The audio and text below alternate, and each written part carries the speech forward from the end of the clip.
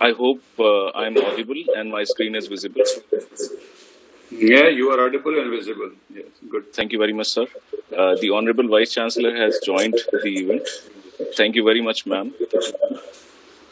This is something which is really uh, uh, very interesting and incredible event that we are doing today. Two of our resource persons, Mr. Shyam Khandekar and Professor Vinayak Bharne, are currently sitting in the Netherlands and USA while we are organizing this event in New Delhi. So basically, the uh, three parts of the world have come together for this event, and uh, this cannot be any interesting, more interesting that under these present uh, COVID circumstances, uh, we are uh, meeting our responsibilities, our professional obligations, and uh, the world has, in a way, become more smaller by the online medium, and we can interact and we can still share and we can still build upon the knowledge that the that is being generated across the world. So, without much ado, I will request uh, Professor Hina Zia, the head of the department, to kindly deliver her welcome address. Uh, thank you, Dr. Nisar. Am I audible? Yes, ma'am, you are audible. Okay. Uh, so, good morning, good afternoon, good evening, wherever. Uh, I'm aware of people have joined from far across, and as mentioned by Dr. Nisar, that it is an incredible moment for all of us, uh, making use of this uh, new medium and opportunity. Uh, so, as Professor Akhtar, mentions, often mentions that we should make use of opportunity in every dark situation, even if it comes. Honorable Vice Chancellor Jamia Millia Islamia, Professor Najma Akhtar, uh, Professor S.M. Akhtar, Dean, Faculty of Architecture and Ekistics, uh, Mr. Shyam Khandekar ji, uh, renowned uh, senior urban designer and policymaker, author, director, My Livable City, uh, working in India, Netherlands. I mean, that's the base, but she's all across. Uh, Professor Vinayak Bharne, Associate Professor of Urbanism, University of South California, Los Angeles. Uh, it's uh, indeed a great pleasure for all of us to hold this event uh, in an online mode, and that's the reason why we could connect uh, simultaneously, uh, three parts of the world, to release a, a much awaited book, especially uh, for our department, which is known for its unique course on urban regeneration. the book is on sustainable design through upcycling. Uh, this comes at a very opportune time when uh, the world is gasping to reduce the GHG emissions and escape the vagaries of extreme climate events. And uh, uh in today's uh, world, when we are many countries, uh, we are returning towards circularity in many sectors and repurposing the existing available resources. Uh, uh, this is uh, this is what it, it's a wonderful attempt. It has come at the right moment. I think there is a dearth, dearth of uh, case studies and effective uh, collated stories and na- narratives to look forward to. So uh, uh it's it's a, indeed a matter of delight and honor. Uh, a very glorious moment to extend my warm wishes on behalf of uh, Jamia Millia Islamia and the Department of Architecture to everyone present here. And I want to convey my heartfelt uh, gratitude to the Honorable Vice Chancellor, uh, ma'am, Professor Najma Akhtar, for accepting the invitation uh, to this book launch in India of Designing for Sustainability through Recycling by uh, Shyam Khandekar with essays from Professor Vinayak Bharne. Uh, ma'am has always been very, very supportive for all our efforts, small, big, uh, whatever may be, and she's always there. So thank you, madam, for for always uh, pushing us to reach newer heights. Uh, designing for sustainability through upcycling. It uh, tells the uh, nearly three decades long inside story of how policies were made, uh, decisions taken, designs created, how the projects developed in uh, phases and how the city governments partnered with the private sector in a very unique manner uh, based on a successful brownfield projects in Netherlands, the uh, Palace uh, um, I, I, don't know how to pronounce it well, but that's that's very very uh, famous project. This book offers first-hand information of 30 years of development as told by Master Planner uh, Shyam Khandekar ji and Professor Vinayak Bharne. Uh, Professor Vinayak Bharne places the process of upcycling in the context of development from other parts of the world. Uh, I'm extremely thankful uh, to Shyam Khandekar ji and Professor Bharne for the presence. Uh, we all are uh, very eagerly looking forward to your interesting talk on this theme. And I'm sure all the students, faculty members, and practitioners who have joined us today uh, will really benefit a lot from this talk. And there's a lot of uh, key takeaways from the talk as, as well as the book. Uh, thank you once again, everyone, for uh, making your time to be here and uh, uh, participating in this event. Thank you so much. Thank you very much, ma'am. now, may I request Professor S.M. Akhtar, the Dean of the Faculty of Architecture and Ekistics, to please uh, say a few words, sir. Good morning uh, to BC ma'am and to our guests and the friends. It's a good opportunity that our academic family is together in spite of all the distances across the globe we are sitting. But today we are together for this occasion. And especially with the Shyam Khandekar, uh, I have met him a few years back a number of times, and we had a good interaction also.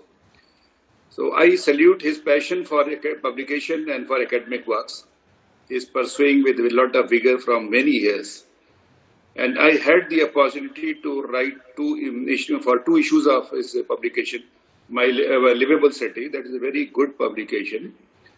And in October uh, 16 and April 7, uh, 17, I published there contributed to major articles and they are now landmark architects. They are oftenly referred even today.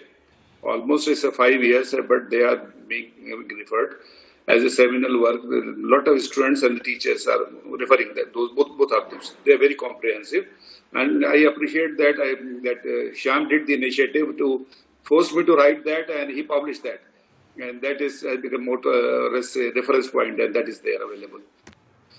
And he's doing a lot of work. His passion for publication is very great.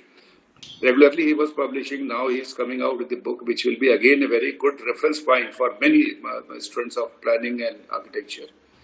So it's, I appreciate all the efforts done by both the speaker, uh, speakers here and the friends who are like a family to academic family who are together. We, we often meet together. Alok Ranjan and uh, others are there. So it's great opportunity. We are together again, sitting again. And we are, uh, in spite of COVID situation and pandemic in, um, spread over all over the globe, we are moving ahead in our academic endeavors and we are contributing and exchanging the education uh, and the knowledge about the planning and the cities. That is the most challenging issues nowadays, but still uh, we are on the front runner in spreading that mental and taking that mental of uh, expanding the uh, education for planning and architecture. So it's great occasion we are here. Thank you. I will not take much time. I will give the rest of the time for Shyam and Visi ma'am to uh, say a few words on this, comment on this, and put their experience with us. Thank you. Thank you very much, sir. Uh, now, uh, with the permission of uh, Professor Najma Akhtar, the Honorable Vice Chancellor, Jamia Millia Islamia. May I request that we can launch the book uh, online, ma'am? Please do the honors of on launching the book, ma'am. I'll, I'll just show the screen so that the book is considered to be launched. Okay. Thank Please you very much, ma'am. Thank you very much, ma'am.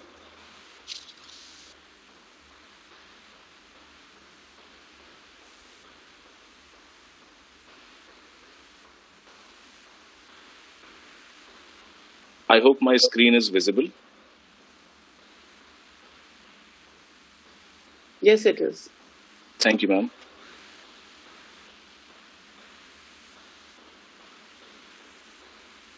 This is the front cover of the book, and with this, we consider the book to be launched for, for India. This is the back cover of the book. The book is published in uh,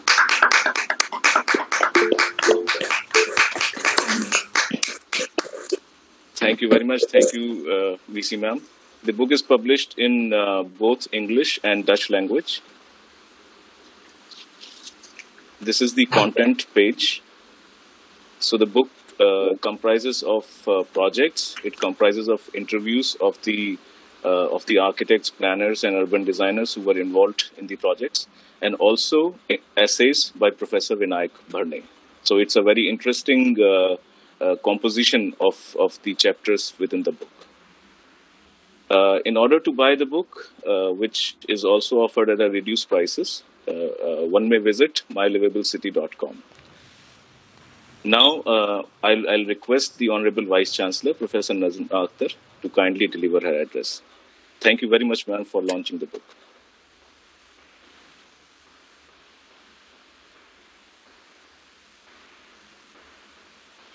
Mr. Shyam Khandekar, Professor Vinayak Bharne, Professor S.M. Akhtar, Professor Zin- Hina Zia, dear ladies and gentlemen, a very good morning and also good evening and good afternoon to others who are sitting at different places in the world.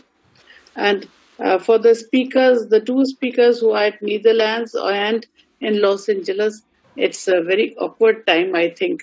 But they are there to be with us, and I'm extremely grateful. Today, the launching of the book Designing for Sustainability Through Upcycling.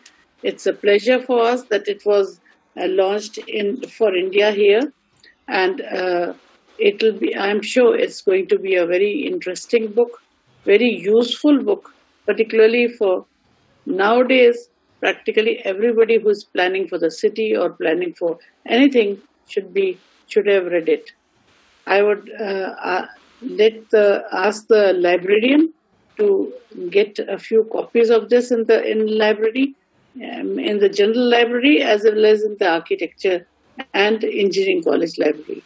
And I would also like to read it myself. It appears very interesting. Friends, our cities are facing multiple problems, as we all know pollution, water scarcity, health issues, adequate infrastructure, crime, etc., inadequate infrastructure, and crime, etc., they are rising simultaneously with the rapidly growing cities. And uh, there appears to be no end to it. It will keep on growing. With more than half of the global population already urbanized, we need to think and rethink how to make our cities sustainable for the future. This is particularly important for the developing countries and highly populated countries like India because our problems are manifold when compared to the developed and less populated countries. We all know that one of the approaches for sustainability is to practice upsum, where used goods are given new use and their lifespan is extended. This approach considerably reduces the impact on resources and energy and thereby contributing to sustainability. It's a matter of immense scholarly contentment that a book on upcycling in cities is authored to bring this revolutionary idea to our urban settlements. Authors Shyam and over 40 years of practice from the Netherlands and Professor Vinayak Bharne from University of South California, USA, deserve accolades for documenting their projects, experiences, and understanding in this book, which is aptly titled Designing for Sustainability Through Upcycling. I'm very interesting to, interested to read the essays by Professor Bharne uh, Uh, because they will be coming from the real life we at Jamia understood the need to rethink our cities and urban development many years back and started our MArch program in urban regeneration, which is uniquely offered in South Asia by us. Jamia has always been pioneer institution where it comes to when it comes to social and national concerns. This MArch program, which is only 10 years old, has trained architects to carry out interventional surgery on our cities and make them more livable and habitable. The alumni of this program, our students who have gone out, are now making a difference by working in the agencies which are at the helm of planning and designing of smart cities and master plans in India. I'm also pleased to share with you that one of the recent theses awarded in this MArch program was awarded at Denda Foundation Awards organized by Institute for Housing and Urban Development Studies Erasmus University, Netherlands. This book, launched today, is highly relevant for showing directions in attaining sustainability and practice of urban regeneration, not only in India, but other developing countries as well. This book shall be equally beneficial for students and practitioners of architecture and city planning. Most importantly, the book will bring global exposure to students in India. Needless to say that the book has filled a gap that existed in this direction. I finally thank Mr. Khandekar and Professor Bharne for coming to Jamia for the book launch and virtually coming to Jamia and sharing their immense knowledge on the subject with their students, faculty members, and practitioners who are present in big number today. I look forward and I sincerely hope that I can invite you again, Professor Bharne and uh, Mr. Khandekar. I can invite you in person whenever the pandemic situation permits and long-term association with you in sharing knowledge and experiences. This association can continue, can start and continue even while the COVID is there. Because if you can reach out to us today, we can reach out to you again and again and again. And we want to make uh, special bonds with you. Thank you very much. Thank you, uh, ma'am, for your kind words, your encouraging words, and your insights. Uh, we always look forward to, uh, we always look up to you for inspiration, for motivation. Uh, this event, this India book launch, has become very, very special by your presence and uh, by by the honors that you have done to to this event. Thank you very, very much, ma'am.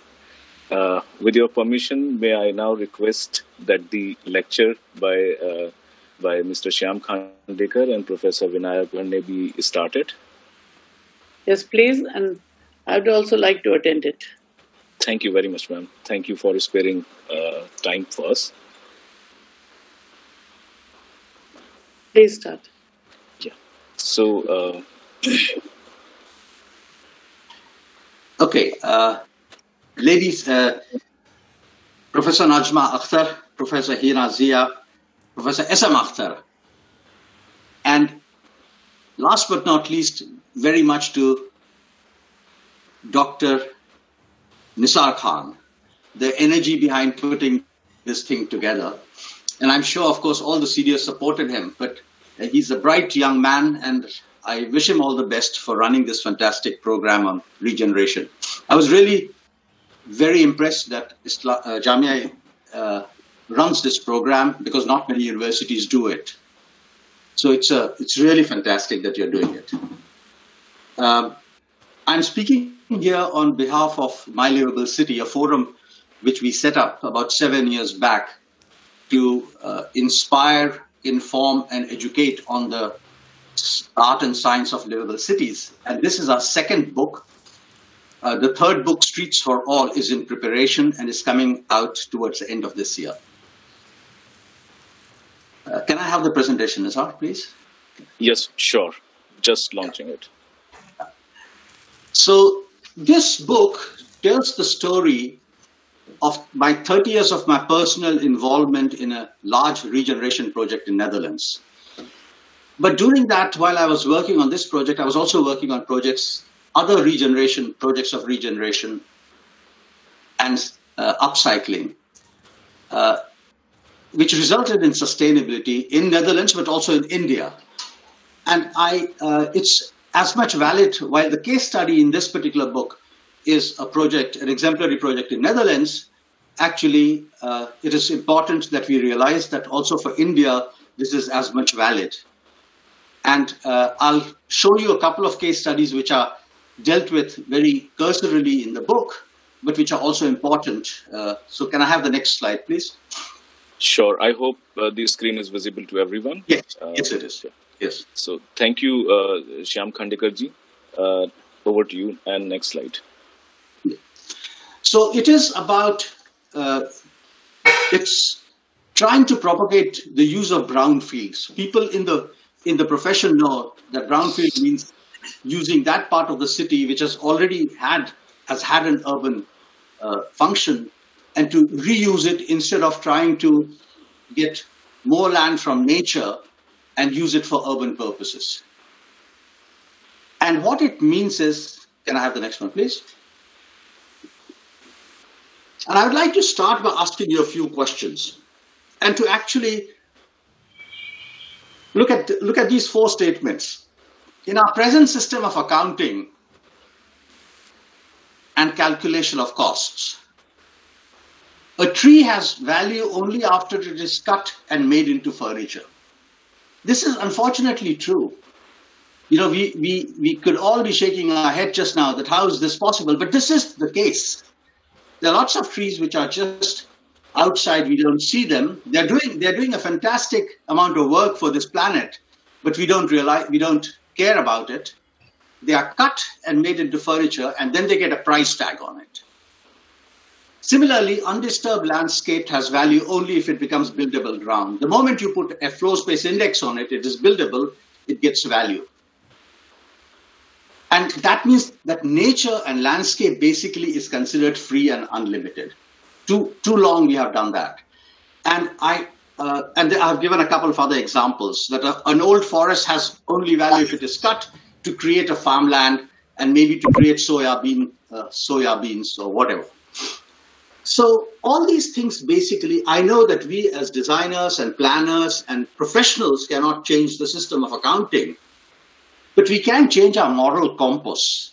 So we can look at our cities in a way where we, realizing this, try to reuse those parts of the cities which are not being properly used instead of just extending out at the periphery. That is the easiest way to do, just extend at the periphery. And far too long we have done it. We have done it in Netherlands, we are doing it in India, whichever city you are in, where you're watching from, just try to think what has happened in the last 20 years. Make a footprint of the city 20 years back and see the footprint now and see where it's going. And it is just amazing how much land we are taking away from farming and nature. Can we have the next one, please? So the central uh, uh, intent of the book is this, that these four schemes, schematic drawings show. The first one on the left tries to show how in pink a, a, a city starts at the edge of the landscape, maybe near a lake or a forest or hills. As the city expands, that is the second sketch, it becomes bigger. It starts eating into the forest, starts to climb up the hill. There are cities in South America, but we also have in the Himalayas places where they climb up into the hill. What you notice is that in, that is the third drawing, that the forest has vanished because that is easy to get rid of, as it were, for the urban forces. But in the meantime, those are the, there are areas in the city which are decaying, which are not working optimally. The only thing is, it is not too easy to change. It's easier to extend at the edges than to redevelop them because of all the legal issues, because of the ownership issues, because of uh, uh, other process process issues. So what we are trying to say is that instead of letting the third drawing happen, let's go for the fourth one, whereby you reuse the decayed, underutilized areas and use it more optimally. And I'll give you two examples which we have, which I have actually personally been responsible for in India. So just so that the contention that this in India may be a more, little more difficult, if you have the right clients and if you can educate them, you can also get this done in India. So let's go to the next slide, please. So I've had the opportunity of, uh, of 40 years of practicing in which uh, to regenerate quite a few sites in Netherlands, but two in India, which I'll just now show the site, slides of. So can we have the next one, please? So the first one, which started about 11 or 12 years back, this was a, a Nirlon Knowledge Park. So it was an old industrial site of nylon yarn, 10 hectares of site, in which two and a half thousand people used to work in the heyday. That factory had closed, and we have reused it, and it's a beautifully landscape plan. You will not believe if I tell you the numbers, but but there's a provision now for 30,000 people, more than 30,000 people working on the same piece of land on which two and a half thousand people are working, and yet it is a park-like atmosphere. And that has been done simply by making the public space the most important part of the design instead of the buildings. In my lecture, I'll keep on coming back to this. I think it's more important, it's very important that the primacy of the public space is recognized and not the primacy of the building. Buildings will come and go. It's the public space which is the key to a livable city for all. Okay. So this is these are two photographs on the left side, and the right one is a photograph of the campus. The next one, please. Now, this project has been going on for the for the last 11, 10, 11, 12 years. It's reaching the final phase of completion. Yes, next, please. The other project which I have been involved in the last five years is an industrial, industrial area and uh, quarters which were related to that of Alembic City in Vadodara. And you see that photograph on the left side. This is how it was about five years back when we started. And parts of that industrial uh, area has lost, lost its function. Now, it's very difficult, but we were able to convince the client, and we have a very, I think, a very intelligent client uh, who agreed to do this. At this particular, on the left side, what you see, that whole area has been con- converted into a courtyard for cultural and sports activities. So if you look at this left photograph in the middle, you will see a round circle. That's a tank. And you see all these old industrial buildings. And one of these buildings, which is on the right side at the bottom, is a 110 year old building where the factory started. So we have converted that into a museum. And the photograph which you see on the right side is Atul Dodia, the well known artist, giving a lecture in the courtyard after it has been reconverted and reused. And you can see at the back the silo, one of the silos of the of the building. Can we have the next couple of next photographs, please? Next slide. And here you see that some of the the building has been converted into the museum. But very tellingly, if you look at the two photographs at the bottom, the left photograph shows the situation as it was five years back. The right photograph, the same place today, as it is being used for all sorts of events. Yeah. Can we have the next one, please? Now, uh, and here you see that, that circular uh, tank which I showed on the aerial photograph on the left side that has been converted into a podium.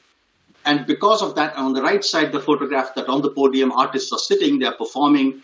And in that, it's the interesting thing is that by regeneration and reusing, not only you are achieving environmental goals, but what you're doing is you're keeping a part of the history of the city and and the heritage of the city and keeping it alive for future in a different way, give, reinterpreting. Okay, can we have the next one, please? Now to the uh, uh, topic. In, I'll quickly go through the, so the book contains the case study of Paleiskwartier, uh, uh, which is a, an area on the diagram below, if you see in yellow triangle is the old city of Den Bosch which is a provincial capital. So I think in the Indian context, if you would say, you could compare it to something like, I guess, uh, uh, Cuttack or a city like that, a provincial capital. And there was a railway line uh, along it, to, next to it. And across the railway line, that area which has been colored red and green, those were the areas which was an old industrial area. That is an industrial area, if we can have the next photograph, which was built. Next slide, please. Yes. It was built in the 1950s, just after the Second World War. Uh, it was built uh, with uh, for industrial production. No, no, please. Can we go back to? Can you go back, please? Yes. So uh, it, this, these are old photographs of 1950s, just after the Second World War. Actually, this particular photograph here on the right side is the Remington Rand typing factory. So there were all these factories there. And what happened was around the 1980s, the industrial production started decreasing, the service industry started increasing, and this was a dilapidated piece of land owned by different owners. So the city of Den Bosch stepped in together with a couple of developers and decided to recycle it. So it was a 30 years back, this is, they started to do it. So they formed a private, public, private partnership and they started doing it and they appointed us as designers and uh, with, with far-reaching power to uh, envision that area. So then we, uh, can we have the next slide, please? And it was a long journey, but this is a, this is a, uh, a statement which I used uh, quote which I use very often, a journey of a thousand miles begins with a single step. So when you start, it always looks very far away, but once you start, it, it just, a marathon runner will tell you that once you start, it just, there is a certain uh, energy which you get out of it, which carries on. Yes, please. Next one, please. So if on this photograph, across the railway, railway line, that area which you see, in that aerial photograph, you can't see it, but it was very dilapidated, and that was the area which needed to be redone the railway line, the one of the reason why it was being redone was because the railway line had to be, an extra line had to be added also. So the railway station had to be redone.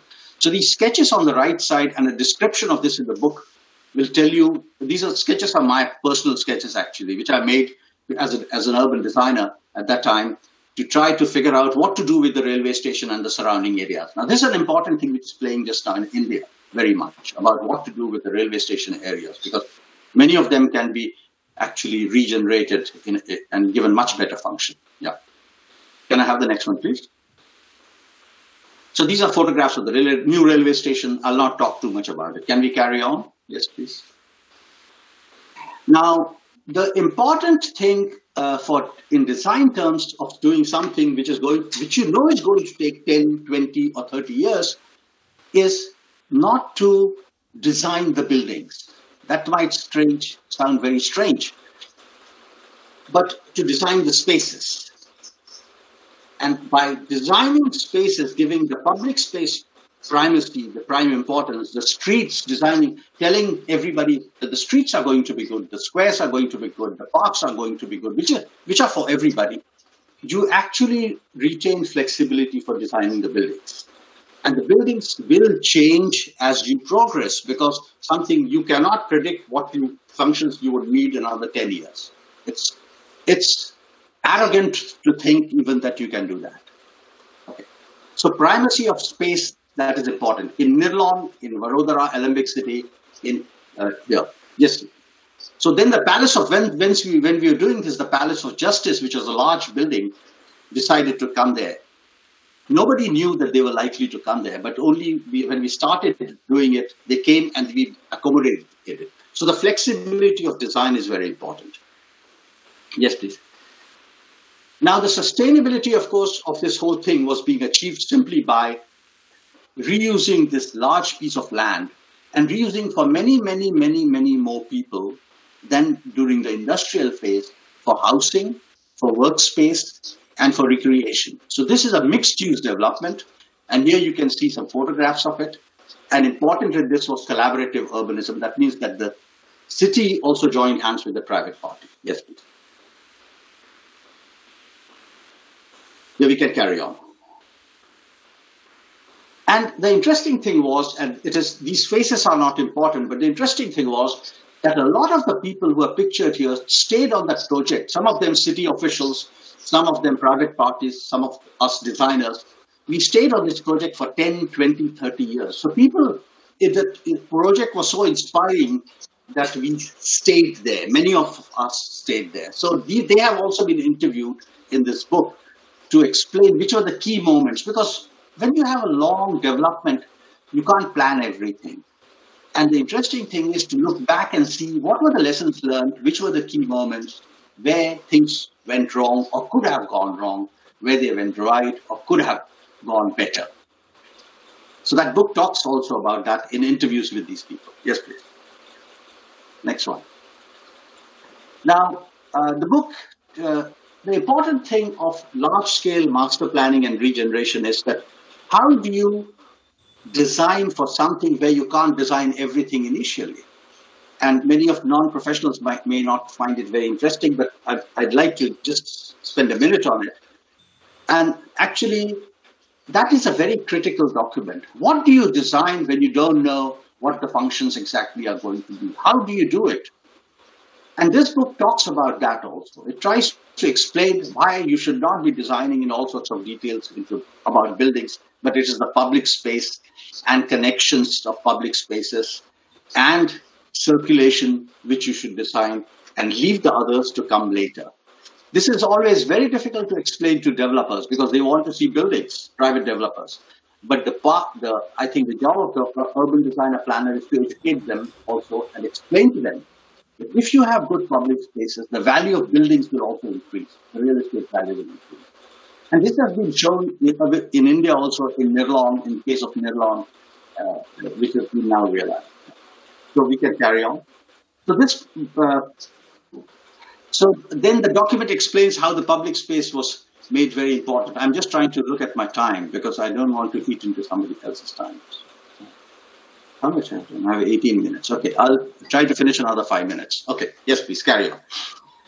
Nisar, you'll uh, we'll move forward now. Yeah. So the landscaping was done right in the beginning. So the landscaping was very important of the public space. Instead of that coming at the end as a makeup, it was it was created right at the beginning, and the buildings came later. Yes, yes.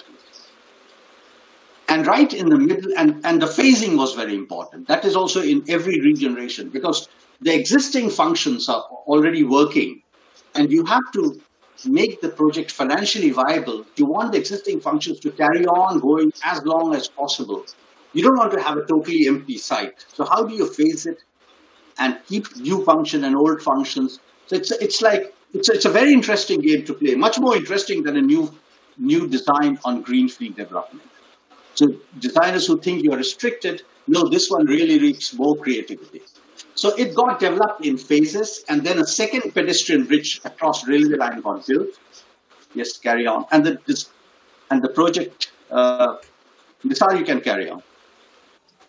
So it discusses how uh, halfway through the process, a new link, pedestrian link, was made to the city, and this pedestrian link is a is, is a pedestrian bridge, which we have been talking about in India also across railway line. But this was seen also as a, as a linear park. So I'll show you a couple of photographs. Yes. So we use some of the old buildings, like this building you see, where you see, uh, where you're seeing, it's an old industrial shed which has been reused. And uh, this is right at the heart of the project. The water, and just carry on, uh, Uh, Nisar and then the guidelines for architecture and how different architects worked on it. So just carry on, please. So in terms of sustainability, yeah, carry on. So the book tries to show which sort of documents you need to create a project which you do not want to design in detail at the beginning. Yes, carry on, please. Now, this water body at the middle, it's a beautiful, it's a central public space, but it's not only looking good. It is, this is only 40 centimeters deep. That pool has been colored black and it works as a solar collector. And we have two layers of parking under it.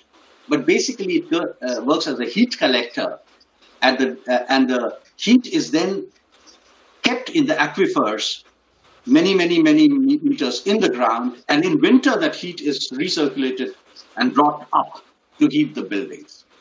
So what is beautiful, this is also one of the sustainability features of this project. So it's a high density project. These curved buildings, yes, carry on, Nisar. Just carry on slowly. Yeah. So there you see, so the book also tries to explain what, how this was done. Can we have the next one, please? Uh, and then you have building blocks. I, I, don't want to go into the details just now. So the, the, book talks about how it tries to create a variety in the building blocks instead of having a monotony of, of just one building, you know. So we wanted to create a city instead of just having a project. Yes, please. Now each, each block has got this green space also inside because they're residential blocks, so people also wanted to have their own spaces. Yes, please. And, and in, in Netherlands, one of the problem is of in terms of sustainability is the wind. We have a lot of wind because it's a flat country close to the sea, and these buildings they are they are curved to cre- to prevent what we call windfall.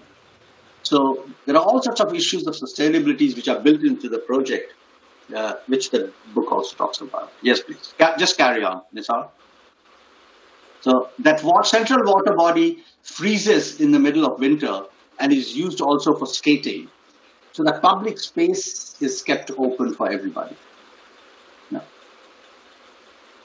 this is that pedestrian bridge I was talking about on the top photograph. And uh, uh, at the bottom, the, the glass portico is basically to prevent the windfall. Yes, please, carry on. This is reuse of that old industrial shed building, which I was telling you about. So across the water, you can see that building, those shed, shed blocks, and they have been reused, repurposed, adaptive reuse for restaurants and cafes.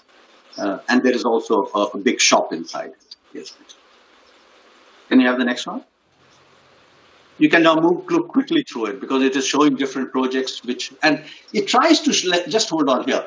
It, the, the, book also tries to explain how when the program is very complex which you want to make, make in a mixed use city how that can sometimes frustrate development. So how do you which is the trick to separate the program slightly in terms of development but at the same time have different program in the same block? How do you do it? So it tries to explain also where we failed and had to redo things to get the, the, the function we wanted. Yes, please. This is the pedestrian bridge I was talking about. This photograph on top is on top of that pedestrian bridge. So it's a linear bridge, but basically it's been seen as a linear path. Yes, please. I think now you can move towards the end. Slowly, this is the central water body. Now we're slowly coming towards the end of this project. This is that shed area which is being reused you can see before the corona crisis. Uh, and every now and then when the projects are, the book also gives exactly how the program was built over the years. So there's a chart which tries to explain in 30 years how slowly residential started, then the offices started, the other mixed use started, the FSI achieved, all sorts of figures are given there. Yes, uh, and there is a, at the end, there's a chapter which Vinayak will Professor Bharne, with whom I've had great pleasure of teaming up, not only on this book, but on our whole platform of My Livable City. Uh, he will explain this a little better. Yeah. Next one. This is, sorry, can you just go back for a moment, Nisar? So this is uh, where you see much of the project now, uh, where it is. And uh, more than this project, actually, it is the underlying thought of how do you do a process like this, how do you design a project like this, uh, which is important. I'll now hand the uh, mic actually to Vinayak uh, so that he can carry this further.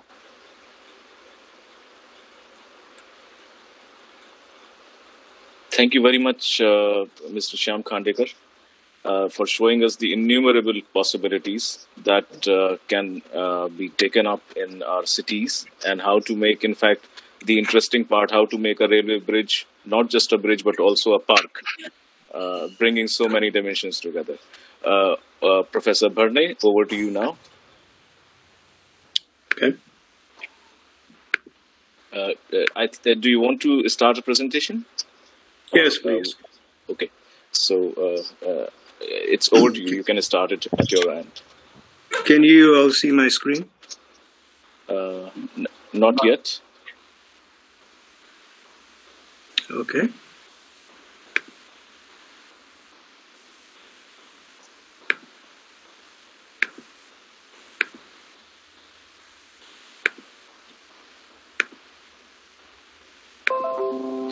Yeah, it's getting it's getting visible now we can see your screen. Okay. Can you all hear me? Yeah. Yes, okay, very good. Well, first of all, thank you to Shyam for making me part of this book. You know, he's the mastermind behind this, and I was happy to tag along And thank you all for being so generous to launch our book in India. It's very wonderful. And thank you all for joining today. Uh, you know, the good news, just to follow up on what Shyam was saying, is we now live in a time when all of these terms, sustainability, upcycling, regeneration, uh, they're not new terms. I think we're teaching about them in schools. I, I doubt if there's anybody sitting in this audience who doesn't know what it means. So that's wonderful. I think we, we've gone past the, the, the newness of these terms.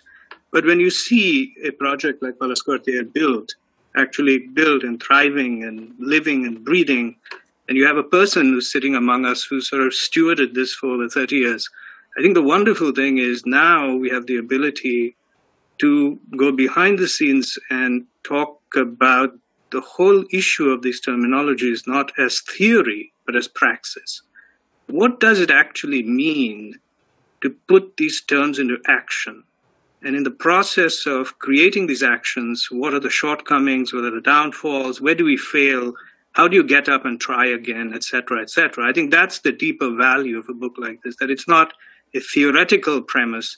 It's actually based on a fully implemented project that's not only financially successful, but actually tries to do something uh, that, that you know is administratively difficult and takes a lot of courage because it's not business as usual. So, in the same spirit of sort of talking about praxis, what I thought I would do is keep my professor's hat aside for 10 minutes and talk about my involvement in practice in the United States, where in the firm, uh, you know, that I'm involved in, uh, you know, what sort of efforts we've done in similar ways, just to contextualize Paleiskwartier and the issue of regeneration and sustainability and upcycling, the broader global context. And I'm saying this because, you know, cities across the world uh, are eventually built of the same blocks buildings, open spaces, infrastructure, everything that Shyam spoke so wonderfully about. But the fact is that we live in very different societies. So, Netherlands is a very progressive society. Uh, I mean, I had the pleasure of you know living with, staying with Shyam for uh, for the last. Uh, I used to visit Shyam every year, and we used to teach together at Erasmus University uh, on behalf of my livable city. And I got to experience firsthand what an incredibly progressive place Netherlands is. Uh, United States is a bit different. India is very different, not because uh, not because uh, they're uh, they look different, but because they administer differently. The governance is different, the processes are different, the entitlement mechanisms are different. So what this really means is that while designs may be designs, the conduits to getting there are going to be very different. So just a few thoughts from the U.S. Uh, you know, this is the mainstream landscape of the United States. Uh, it's it's what we call sprawl. All of you know what this means, uh, but this is a disastrous, toxic landscape. It's happening everywhere in the world in different forms. It's happening in India. It's happening in the Netherlands too. Uh, but in the U.S., it's ubiquitous. It's it's really spread like anything. And the scary part is, and I'm going to say this slowly so you can all digest it. At least it scares the heck out of me is that everything you see in these slides is entirely legal. I just want you to, I just want to say this again. Everything you see in these slides is not an accident. It is legal, which means that it is made through policy, which means that somebody wrote a policy that allows these things to happen by law. We have streets that are inundated with toxic asphalt. We have freeways that are cutting through our neighborhoods. Uh, you know, we have large suburban houses that are mass produced at the expense of the forest that that uh, that Shyam talked about. We have cars inundating our cities. We have malls surrounded by massive parking lots. So, what in our practice, what we've been doing in the U.S. is we've been making a concerted effort uh, to become uh, sort of advocates in the spirit that Shyam spoke about to challenge these notions, both through design but also through policy, by working hand in hand with public sector officials. And some projects that that you know we've we've we've talked about in the spirit of sort of regeneration is one of the most simple things that we've begun to do in the United States is actually attack or rethink what streets can be. Because the most ubiquitous public space in our cities is the street. There are hundreds of thousands of miles of streets that were designed exclusively by traffic engineers for the sole purpose of taking in cars. And you can see the slides on the left. This is a project we did in California about 10 years ago. where we took a mile long street uh, and through the uh, patronage of the city officials who deserve a lot of credit in every project, even Paleiskwartier, you know, you cannot, you need to have stewardship to, to make these things happen from a private sector standpoint. We basically took this street and we planted 400 trees. Uh, you know, we, we just changed this landscape into sort of what we call foresting the city, just bringing uh, trees back, regenerating this entire thing as place. But the beautiful thing is, when we dropped our pens as designers and architects, the city took it over. And while we did the first half, the city did the second half, which has implemented this entire project in eight months. The result is actually wonderful because what it did is it actually created a place where all the people of different incomes, rich, poor, etc., could now stake a claim in, in one space in the city. It gave them a sense of ownership. But because it became such an iconic place, uh, this sort of drab street now began to attract a lot of development. Exactly the way it happened in Paleiskwartier. You build upon the success of one in the other. And we talk about this in the book in terms of successional urbanism. And the result is the city invested, in this case, in Lancaster, uh, $14 million to make a beautiful street. And it reaped back in as less as three years $300 million of economic development investment. And so one of the points we make in this book is that whether it's a project like Quartier or you know the project I'm showing you here, the idea of seeding the first step and then building on success, improvising it every step of the way is not just a design strategy, but also an economic strategy where you can now learn from your mistakes or build upon the economic success of the previous one.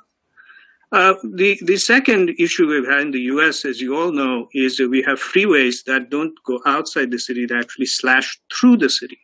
And when a freeway slashes through the city, it fractures cities. This is the city I live in, in California, called Pasadena. Uh, and this is the freeway stub of the 710 freeway. And what happened here is the like minded citizens, not architects, not planners, just citizens, came together on four weekends. Some of us happened to be planners and architects. And we, we just began to create an activist effort where we brought economists and designers, etc., and just through an informal process, created a vision for this freeway and talked about regenerating it as new development. We converted the, the sort of large swath of land into a boulevard which could carry traffic with the help of our traffic engineers and, and brought in new development to stitch the city back. The beautiful thing is we then appealed to the city council and the freeway has now stopped and the land is being returned to the, the city. This project will actually happen in whichever form. This is the second point we make in the book, which is essentially about public participation, that the processes through which our cities are made, uh, you know, if, if participatory, if you can have uh, different like-minded citizens coming together, we, it can wield tremendous influence. And I think I would love to hear today the efficacy of this in India, because we now are at a crucial time in India where these ideas of participatory planning, etc., are being talked about uh, in, in very cogent ways. The third one that Shyam alluded to is transit-oriented development. Quartier essentially is a fantastic example of a large-scale transit-oriented development project.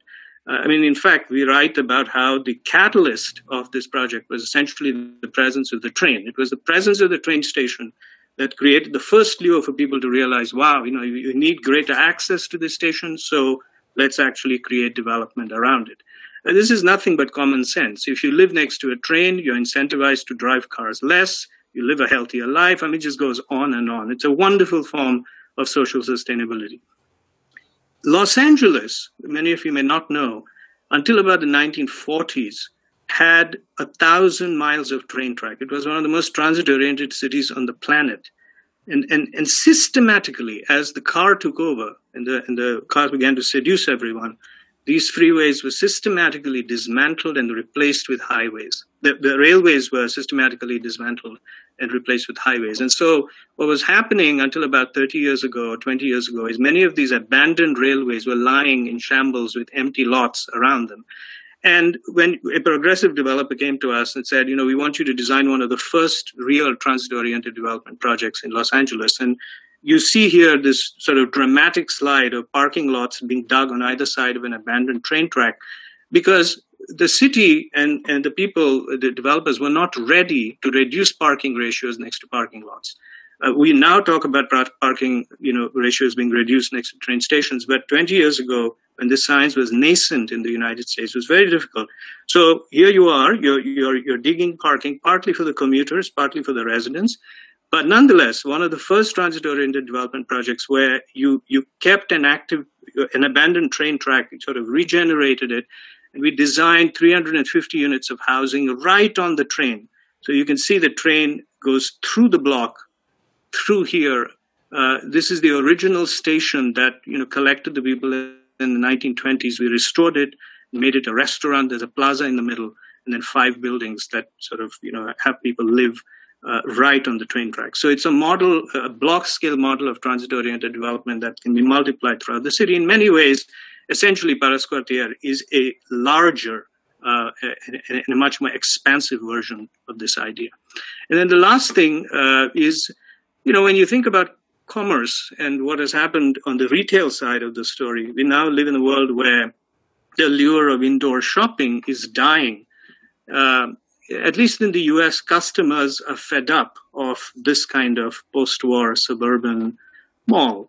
Uh, the idea of an air conditioned mall surrounded by parking lots is now you know increasingly recognized as a toxic landscape and increasingly there are projects being floated where we are converting these malls regenerating these enormous sites upcycling them giving them greater value actually creating walkable downtown districts. So here's the freeway here's the here's the the major avenue and this shows a master plan we just finished for this area where this mall is is going to be incrementally dissolved and is going to become the new downtown for this post-war city. And obviously this doesn't happen uh, overnight it happens over time so so it's a 20 30 year master plan that is exactly what the essence of Paleiskwartier is about uh, and and and finally the the the main point that that Shyam was making is what this book essentially talks about on the broader scale is the wisdom of infill versus sprawl. So we have two choices in expanding our cities fundamentally. We can either do laissez faire sprawl, where the boundaries keep expanding and you eat nature around the city, or you begin to rethink streets, corridors, neighborhoods, districts within the city that keep your nature absolutely intact. So we, we've now begun in the United States over the last 10, 15 years to engage in entire citywide regeneration strategies like this one, where you, you write enormous policy documents called general plans, which are citywide policy documents uh, that essentially take urban design on a citywide scale uh, and, and show where the city could infill and grow and in what capacity uh, over the next 20 to 30 years. And the downtown I just showed you in the previous slide is right there. So you can see that that little master plan emerged out of this project, which tells you, you know, how you can house another, uh, you know, thousands of units uh, as as the city begins to grow. So uh, there are numerous lessons Paleiskwartier offers us. So the, my point is the, the idea of sustainability in an environmental, social, economic sense is happening all across the world in, in various ways. The beautiful thing about this project is that it's fully implemented now. I mean, it's no project is fully implemented; it's largely implemented, I should say.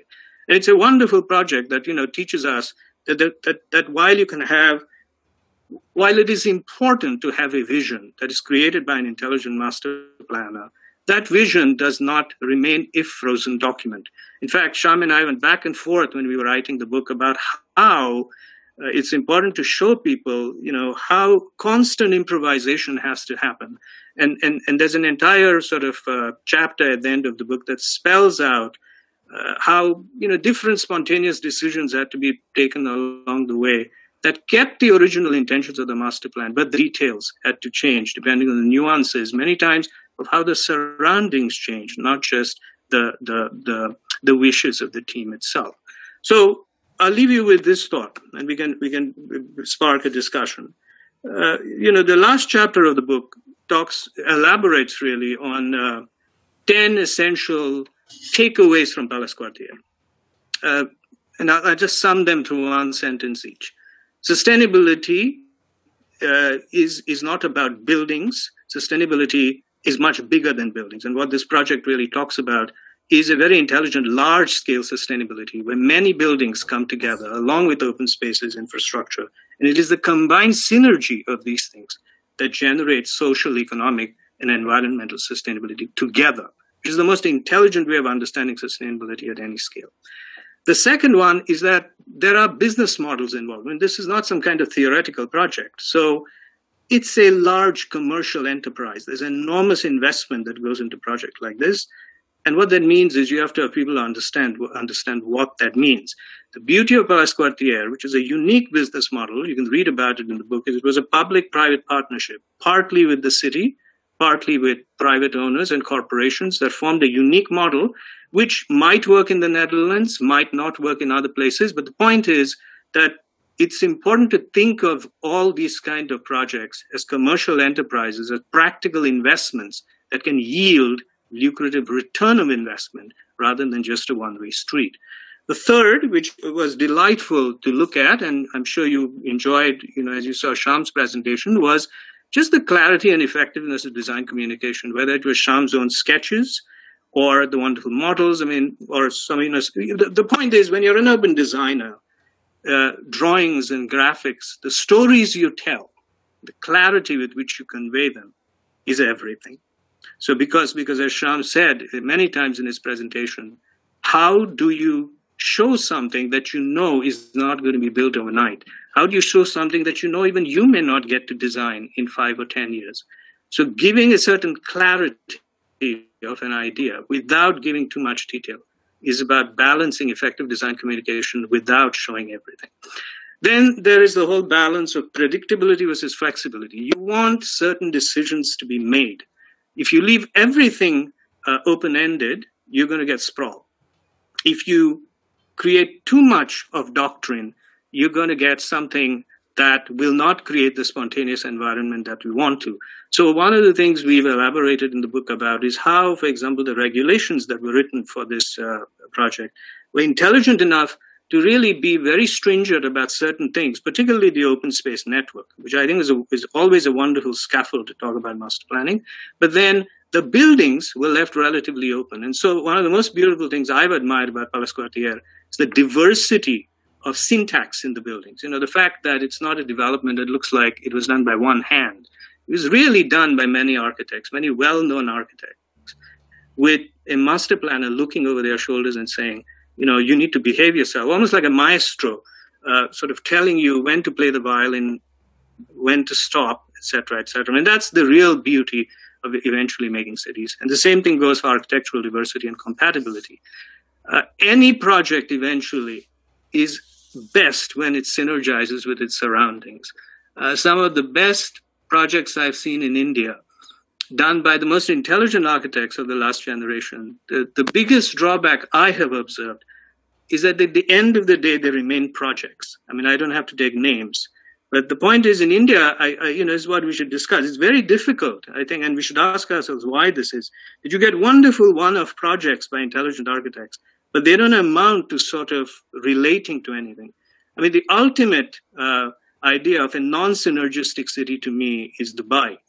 Uh, I mean, it's a it's a unique model because if you go to Dubai, there is you know there are utopias of various kind, the Palm Islands, you know, the Burj Khalifa, so on and so forth. In the middle of this, there's just a a, a weird sort of thing going through. So they're not connected. So how do you synergize between all these places? Is really a very interesting question. Design improvisation. We talked about this. You know how. Uh, you know something changes all of a sudden in the surroundings how do you change the master plan to what degree do you allow uh, your your regulations to relax? To what degree do you hold the thread, etc., etc. Shyam mentioned team member continuity. I don't have to get into it, but it's very admirable to think that someone of his caliber has been able to you know stay with this project for 30 years. I mean that's a commitment of enormous proportions, uh, it's not just a sort of a it's not just a wonderful thing on his behalf, but also the clients who, who trust a person enough and trust many of the team members enough that you you know keep them over for decades.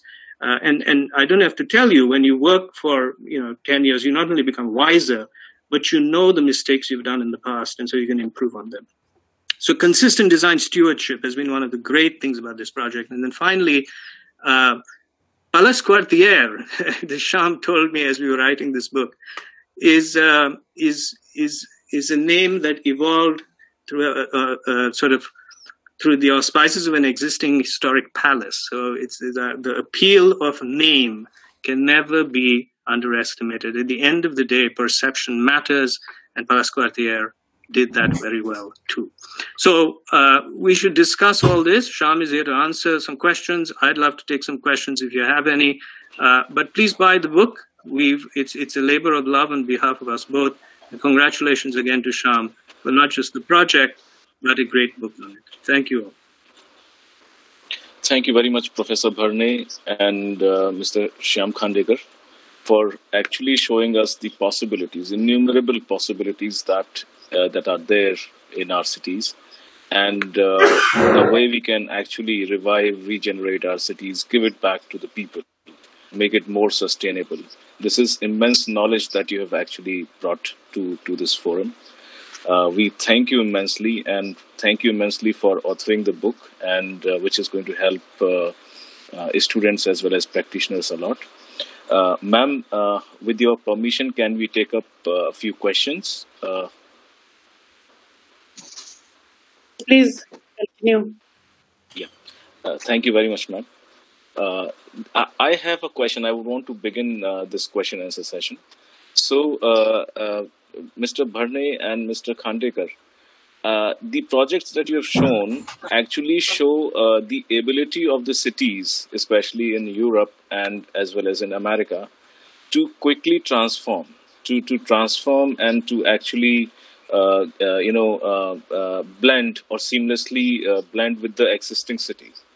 Whereas in India, as uh, we are all familiar, that it is only a beginning of such kind of projects. We are still, you know, uh, doing TOD. We are still doing railway station redevelopment. We are beginning, kind of beginning those kind of projects.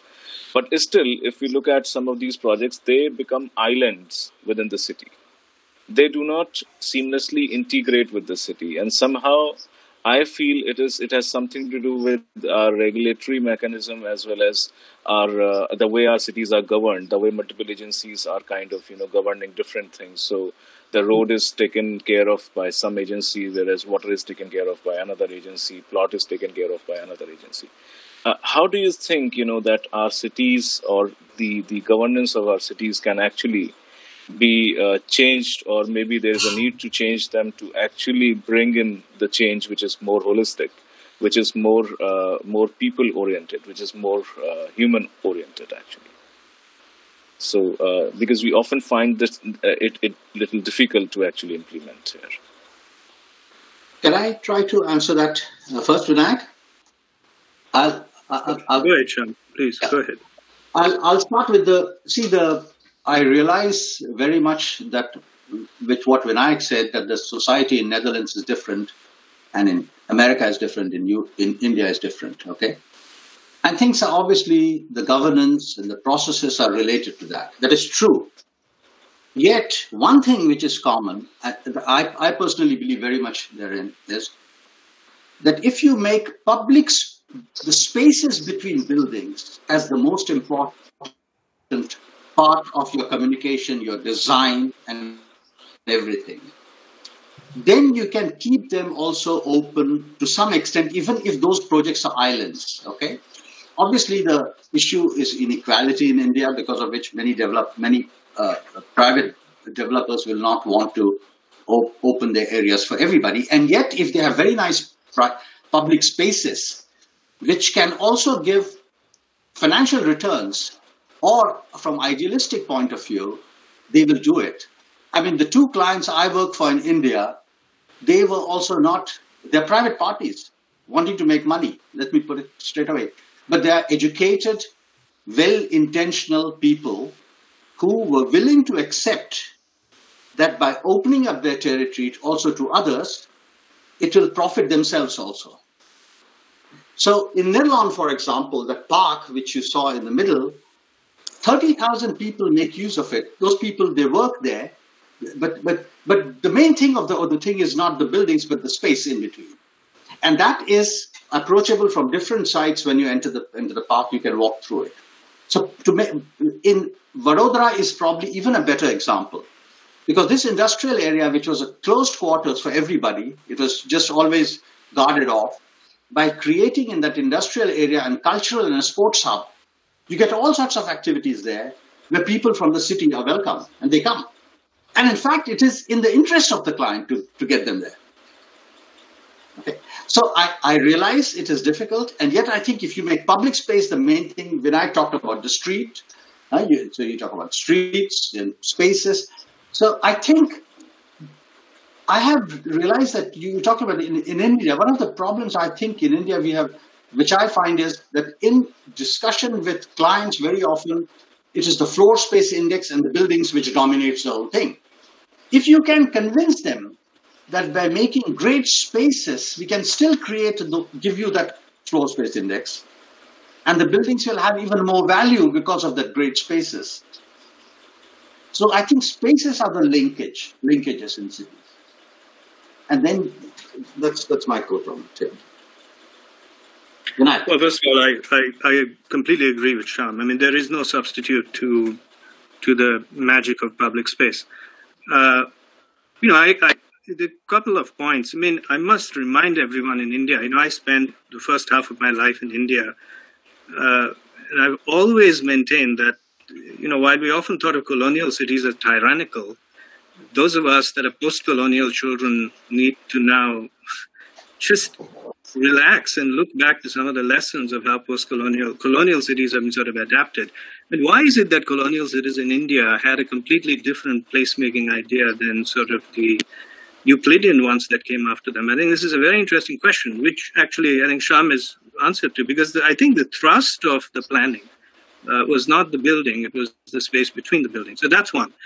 The second point is the Euclidean regulations, which we imported from the West essentially, the disastrous effects in all over the world.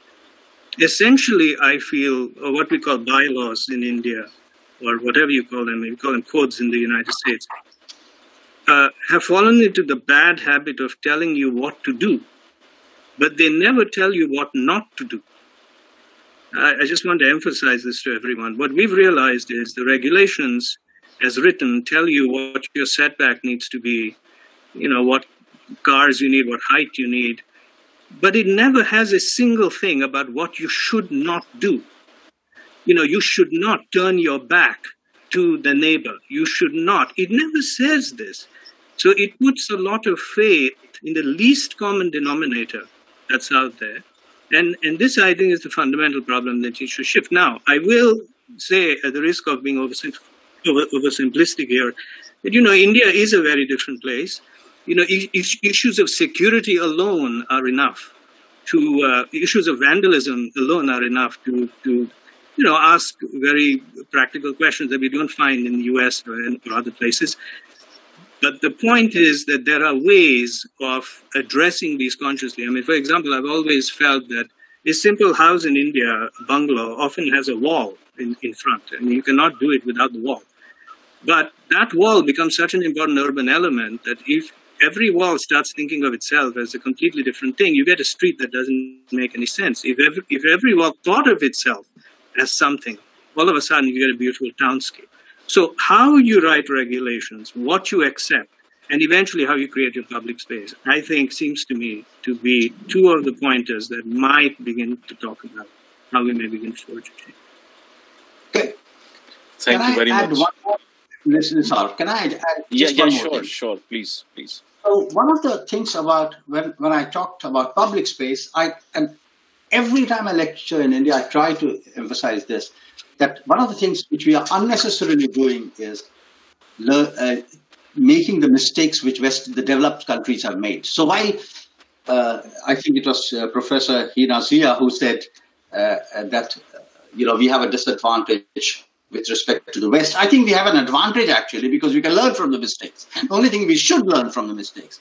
But if you don't, and one of the big mistakes we are making is the infrastructure which we are creating for cars, which we, we just continue to keep on increasing the infrastructure. You know, I mean, I know at this moment the number of fatalities of COVID has increased greatly in India. But you know, every year in India, 150 150,000 people die because of vehicular mobility 150,000, which is close to, I think, probably what we have lost with COVID. And this happens every year. And many, many more get maimed because of car mobility. And these are all young people because in public space, they're the young people who move there. So the, when I talk about public space, it's public space of pedestrians. So I think pedestrians, pedestrian linkages, public spaces. All half the money which is spent for cars, if we spent only on that, our cities would be so much better. And quality will be so much more easier to achieve. Thank you very much, uh, Mr. Khandekar and Mr. Bharne. We have a couple of more questions. I think we'll take two more questions. So one is by, uh, I think Baishali has raised, uh, uh, Banasri has raised a hand. Banasri Banerjee, uh, she's also uh, alumni of IHS. Uh, uh, will you be uh, able to unmute yourself and uh, may I ask your question? Uh, yes, thank you. Uh, Yeah, Can you hear Please me? go ahead. Yeah, yeah, we can hear Uh, you. It Please go was. Uh, uh, it's not uh, really a question, but more in terms of a comment on what's happening in Delhi.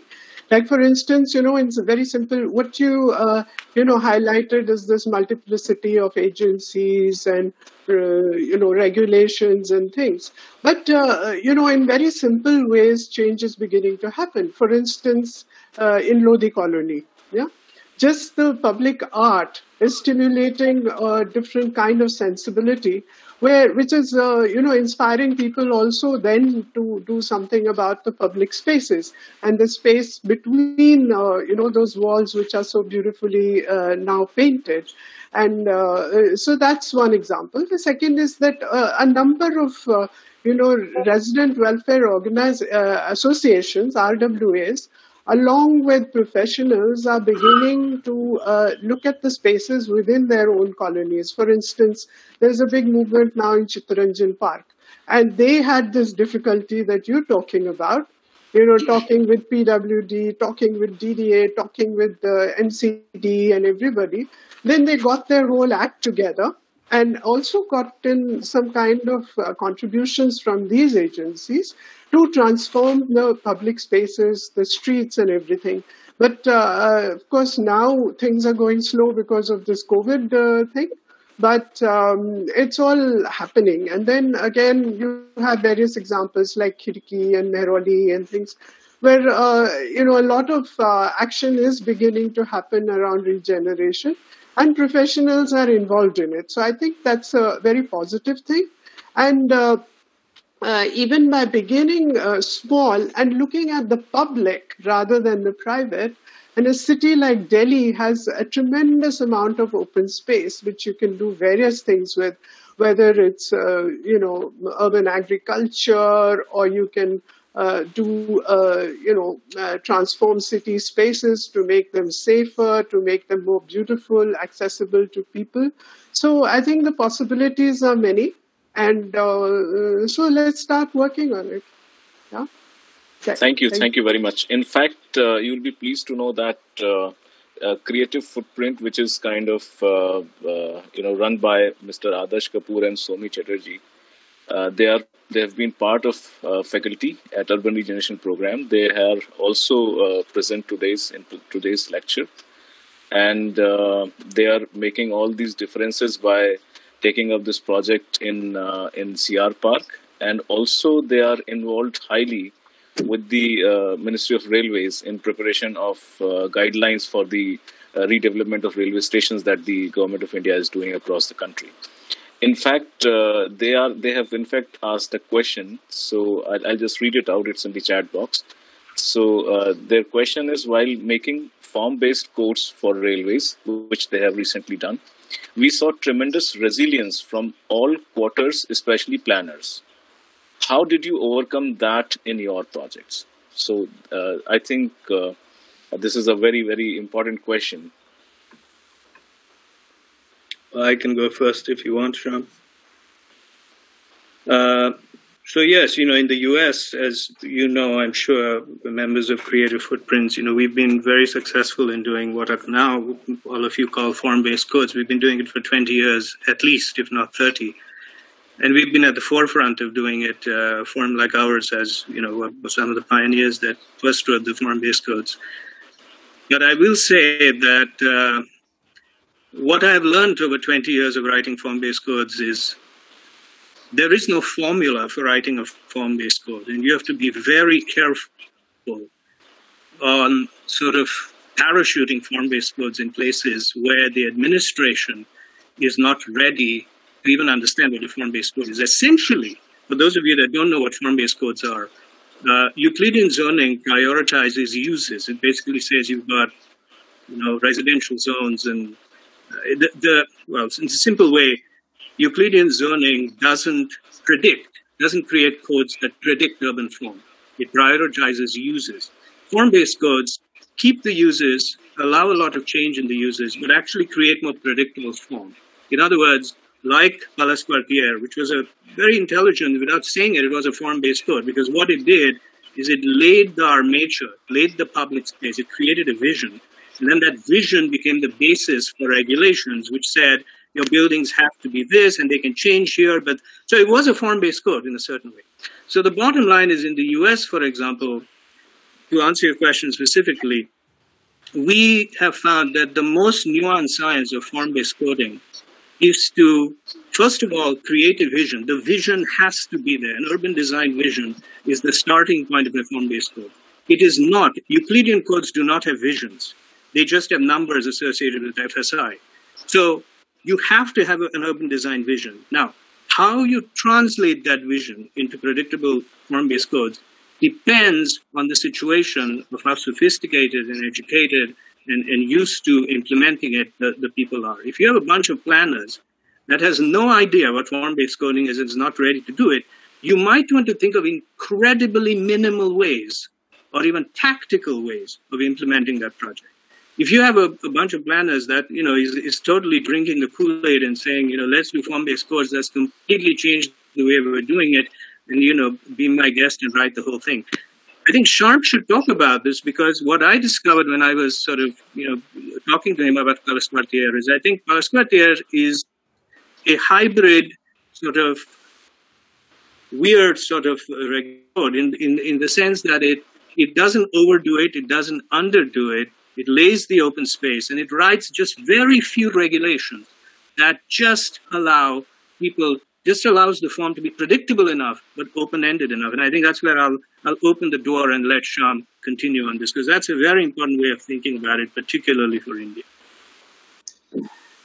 Uh, I think uh, uh, uh Somi and others, uh, I, I know you two both uh, and appreciate your work.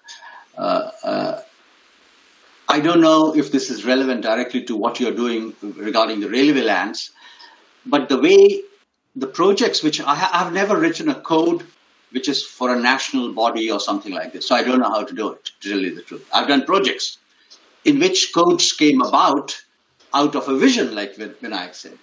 And the vision, and this applies to, like I said, this applies as much to India as to Netherlands. In Paleiskwartier, but in Nirlon also, we defined actually the public space first. So we, we designed the public space. So we said, if we are going to have i mean this is it's as simple as that. And i in, uh, whenever i'm in a jury with students also i always and, and, when they say that we have to design a thousand housing units so i said to them you know how many people are going to live in that? Do you know? Forget the units. How many people? So let's say maybe there are 4000 or 5000 whatever may be the norm. How many of them are going to be children? So you have a number so can you provide a public space for them what should that public space look like so if you, and this is what we did with Nirlon, this is what we did with Paleiskwartier. We, based on that, we designed the public spaces and the network.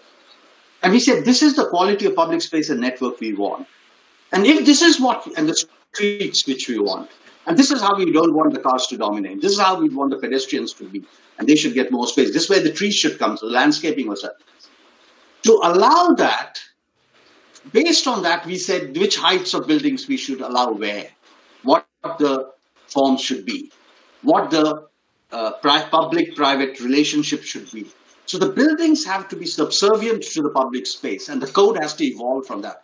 You know, it's ridiculous that you can put an condi- air conditioner at the edge of a building and pump out hot air into the public space in the middle of summer in, in India.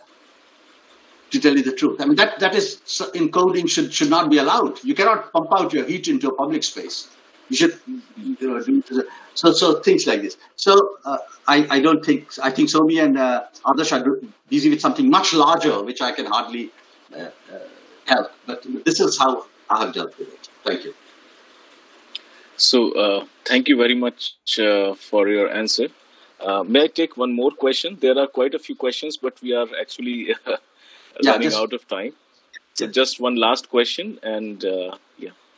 So uh, one of our students, uh, Ali Khan, who's who just uh, done his BArch and is working in Dehradun, uh, wants to ask, uh, and I'll, I'll just read out his question. I recently moved to a beautiful city surrounded by forests and mountains, and there are a lot of very established architects over there. But it hurts me to say that every one of these are contributing towards a hastened sprawl as gigantic housing and commercial projects that are advertised as heavens amidst wood. So something like you know the uh, the suburban uh, development, sprawl development in US. So what would you suggest to someone as a student with virtually no power nor support to approach organizations or perhaps the government? Is there any other guidance you would like to impart so we start actually making a difference? So it's the it's the typical dilemma that every student of architecture uh, experiences, and he wants to bring in a change and finds himself helpless uh, in front of agencies and authorities. Something to motivate them. Vinayak, you want to go ahead? on? Sure, I'll, I'll take this first. Yeah. You know, um, I uh, I graduated in 1995, so it was not that long ago. Uh, and then I finished my graduate studies in '98, so that was not that long ago. Shyam, Shyam, uh, he's, he goes goes a little before that. You know, in my generation in India, when I look at all the so-called heroes that I was told to worship, they were very predictable architects. I'm just saying this with folded hands because you know they were great architects, but I'm I'm just trying to be reverent, but at the same time honest about it. They were very predictable architects in that they were trained in the West. They were sort of bringing in the great Kool-Aid of modern modernism. They were flirting around with a lot of beautiful things, but essentially they were building designers. And occasionally, with the exception of one or two of them, most of them were not really interested in planning. I think they were more interested in doing buildings. And uh, and it always surprised me that while there was an ITPI, while there were a lot of planners, not a single planner got the voice that many of these so-called architectural heroes got. I mean, and it surprised me. It took me a long time to get out of this confusion because as I began to get interested in urban design, I asked myself, you know, for five years I've been doing undergraduate studies. Why was there not a single urban design planning person that I could aspire to? And there was nobody. There was nobody on the Indian scene that was doing work of serious consequence. Most of their monographs were is filled with buildings. So the point is, there has been an in- incredible intellectual void. And what happened in the West in the 90s, when, when I went there, is there were a lot of people that were consciously challenging this attitude, right? And, and, and from that attitude, from that challenge, new movements emerged, new writings emerged. Planning and urban design came to the forefront. You know, people began to criticize the approach to architecture that architects of the capital were giving. So, what am I really saying? Whoever, you- whatever your name is, I think there are a lot of incredible things happening in India right? In my opinion, for, from from Shyam and I talk every week uh, for for our magazine. You know, we we you go to Facebook, you go to uh, to Instagram. I see incredible stuff happening in India. The problem is it is buried under a lot of mainstream BS. So what do you do about it as a student? What you do is you excavate it and write about it. You make it known you know, you take all these under the radar, quiet little projects that are going on that are really transforming cities in India or transforming places in India and elsewhere. You make them really known because it is the only way to have an alternative voice to all the mainstream loud voices that are going on out there. It's very easy for architects to be seen because they can build buildings fast. It's very difficult for planners and urban designers to to tell a layperson or a city what they're trying to do. So you have to bring beautiful drawings. You have to understand what it is. So as a student, my, my suggestion to you is take an eraser first of all. I just said this in another lecture at SPA a few weeks ago. You know, take an eraser as a student and blur the boundaries between all the programs in your school. You know, if you're sitting in an architecture program, learn to talk like a planner. If you're sitting in a planning program, learn to talk like an architect. Be just don't don't become a, a siloed siloed person. The second one is is go under the radar and take the trouble of bringing the projects that you think are worthy of study and really publish them, write them. Shyam started My Livable City, and I joined him my, in My Livable City primarily for this very purpose. We are not an academic publication. We don't. We do not want to be a, a publication that is so heavy that one percent of the population reads us. We want to be a, a publication that everybody reads, because that is the only way you can create bigger awareness of what our city should be. Shyam, you will have the final word. Uh, and uh, your dilemma, I think Ali was the name, if I'm not. Uh, uh, I, am just thinking graduated. I come from a very, let, let, me tell you, now I'm in a financially comfortable position, but I came from also a very middle class background. So did Vinayak. And when we graduated, and when I uh, had done my master's, all with my own effort without bothering my parents about it in, in, in the in UK and uh, Netherlands, and when I came back to India, I needed money as much as any of you. I didn't have family in Delhi or Bombay, so housing was very expensive in those days, and I was living in a Barsati. And at that time, I had a job straight away. I needed a job straight away on getting back because I had no money, and I could get a job with a commercial function, uh, company. I'm not going to name it. Name it. Uh, reasonably well known, very well known actually, uh, and I could get a good salary. And I started because I needed money straight away. And within three months, I left that job, not because I didn't need the money. I needed the money very badly. I left the job and I joined another company, and I'll tell you which one. And that one was paying me less. It, uh, uh, but I joined it because they were doing better work. So one thing I'll tell this boy, I don't know how deep his pockets are, but within all the architects and the planners and companies possibilities which you have in there, join the one you think is doing the best work. I joined Joseph Allen Stein, who I think is one of the best designers ever India has had, uh, because he designed not only buildings, but the spaces between the buildings and around the buildings. If you look at his campuses. And, and, uh, and uh, so uh, I learned tremendous amount from him. And I uh, wrote an article also about him learning from Joseph Allen Stein uh, sometime back in a book, because that is my respect for him. And so, so, so I'll tell him, join the company which you think you should join, which your heart is saying you should join. And if you can, forget a few hundred rupees, if, if that is the. That is the most important. Yeah. Thank you. Thank you. That could not be uh, put up in, in any any different in, in any better way. Thank you for uh, that motivation and that guidance at that age which uh, a student need. Uh, we have few more questions, but uh, unfortunately, we are already past our time. Ten minutes we have already uh, crossed. So I'll, I'll, just apologize to the other participants who have sent us questions. What we'll do, perhaps, we'll send these questions to uh, both uh, Mr. Khandekar and Mr. Bharne, and we'll, we'll you know, send you the answers or replies that we receive. with before we close the event, which has been very insightful and very, very informative. May I uh, again request uh, our Honorable Vice Chancellor, uh, who has been a motivating force to us, uh, Professor Najma Akhtar, to say a, uh, final words, ma'am. Thank you. Uh, it was really interesting for me, a person who has no background of architecture.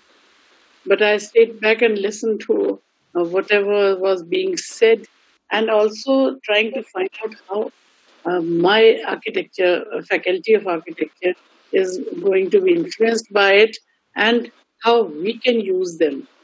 Besides, in, in our uh, development, which we are going to do, there'll be almost a new Jamia coming up with new spaces and new buildings and other things. So we, I don't, and with, uh, I don't want an outsider to come and tell us only. Uh, we need an insider, a person with experience and we'll definitely be coming back to you also with our um, uh, Professor Bharne and um, Mr. Khandekar to guide us, give us guidance. But the mo- most important things will be done by our youngsters and our um, people from architecture and from civil engineering to tell us where they want to put a big building coming up and how to use the other spaces. Uh, because this is a university of 25,000 students coming together, so we need some spaces where they can mm, go around and uh, do meet each other and also get the benefit of being in a green city, green place. Because Jamia is one of the right now the greenest area, the lung of this, the lung of the city of this area, and therefore we don't want to destroy it. But uh, we have a limited uh, land on which we want to build our dreams in the coming years. Just, uh, just this week, we have finalized that we are going to go ahead with this. The, it's just the arrangement of funds that we have done. We have not, we have not yet started with the with how the building is going to be. But uh, I find this very interesting. That's why I stayed back and tried to grab to get into it and uh, see how much I. I'm extremely grateful for Professor Bharne and Mr. Khandekar for being with us, giving us so much time and so much insight and understanding about the work that you have done and how, because you have experience not only of of the um, other countries but of India also. That makes you uh, more closer to the heart of Jamia. Thank you very much. Thank you, ma'am. Thank you very much for your words, final words, and uh, to inform us that Jamia is going to have new buildings. Uh, uh, for the uh, participants, I would just like to inform that Jamia has just completed its 100 years. So, uh, 100 years is a long time, and now we have to rethink about how to develop our campus. And under the motivation and the able guidance of uh, our Honorable Vice Chancellor, we are very sure that a new inspiring campus is going to come up. Finally, uh, I will request Professor Hina Zia, our head of the department, to uh, propose vote of thanks. Ma'am? Uh, am I audible? Uh, because my broadband Yes. is giving me trouble. Yeah. Uh, yes, ma'am, you are audible. Yeah. it's it's very very fascinating. I would love to have this session going on for uh, another hour or so. Uh, but uh, on behalf of the Department of Architecture, Jamia Millia Islamia, my colleagues, friends, team, um, and the entire fraternity, I would say, uh, on and on my own personal behalf, uh, I extend my very hearty uh, vote of thanks to Shyam Khandekarji and uh, Professor Bharne uh, for these very uh, useful insights, narratives which are based out of their own experiences, passions, and for also guiding our students and, and us as professionals also that what should be the focus and and uh, we many a times face these contradictions as very rightly says stated by Ali and uh, in, in very simpler terms, but we have our own contradictions often we face. So thank you so much for these uh, greenfield versus brownfield, uh, focus on infill development, and most importantly for bringing back the spaces to the people. Uh, for um, and and we are very hopeful that in uh, under the guidance of Professor Najma Akhtar, our Honorable Vice Chancellor, we'll be able uh, to make uh, because we are in the hundredth year, hundred first years, and um, uh, while making a new master plan, we will have those insights of bringing back the people in the center uh, of all uh, all kinds of design spaces. Uh, I hope we'll be uh, will be able to do and make make some kind of a difference. Uh, my uh, special gratitude to Professor Najma Akhtar, who who stayed throughout the uh, presentation in spite of I know she's her her calendar is always busy, uh, also on the weekends, and she's up uh, awake responding to our SOS at 3 a.m. in the morning. She's there. So thank you so much, ma'am, for for those useful insights and for being with us and always always inspiring all of us. Um, and uh, uh, thank you uh, to all the students for their uh, for patiently listening for their questions. And uh, to to everybody uh, from the academic fraternity who's joined from uh, far off places to creative footprints to uh, many of the professors I, I can see uh, who have joined who have been associated with Jamia for a while and last but not the least Dr. Nisar Khan and his team for bringing this up together and thank you Nisar for for your passion for inspiring that, passing on that passion to the team who works at Jamia, uh, specifically for the program on urban regeneration. Uh, so thank you all for being with us. Uh, thank you, Professor Bharne. It must be very uh, late in the night or maybe early hours in, in US. Uh, Shyamji, you joined very early in the morning with us. Uh, very different time zones. So, uh, again, um, with folded hands, gratitude to both of you for joining us today, and thank you, everybody. Thank you, ma'am, for for the uh, for presiding over this and always guiding and inspiring us. Thank you. Thank you, ma'am. Uh, now, with the permission of the Honorable Vice Chancellor, may I request uh, to close the session? Um, okay, please do. Thank you very much, ma'am. Thank you, Nisha. Good night.